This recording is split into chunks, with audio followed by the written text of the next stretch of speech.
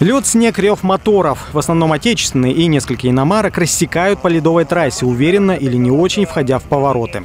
Участники говорят, хотя к отечественному автопрому принято относиться снисходительно, в зимних видах спорта наши машины дадут фору многим иностранным. А кто-то просто очень любит именно отечественный автопром. Я использую отечественный автопром, потому что это доблестная, продолжает доблестные традиции нашего великого э, автоспортивного прошлого. Москвичи, которые побеждали на ралли Париж-Дакар. А еще не так жалко, как, как иностранная. Да нет, кстати, вполне жалко. Любую машину жалко. Это же моя любимая ласточка.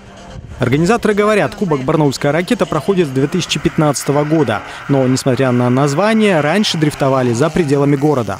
В предыдущие года мы делали на, э, на озерах, на реках замерзших, то есть расчищали там конфиг и после этого, соответственно, там ездили. А в этом году получилось так, что все озера не в очень хорошем состоянии и получилось так, что мы заливали здесь 36 участников, в основном из Барнаула, Рубцовска, Омска и других сибирских городов. В одиночных заездах лучшим становится тот, кто пройдет трассу правильно и чисто выполнив все повороты. В парных требуется пройти ее же максимально осторожно, не касаясь при этом другой машины. Участники уверяют, несмотря на кажущуюся сложность, вступить в ряды пилотов может любой желающий, было бы желание и опыт.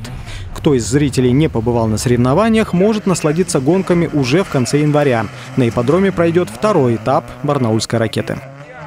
Илья Кочетков, Илья Халяпин. День с толком.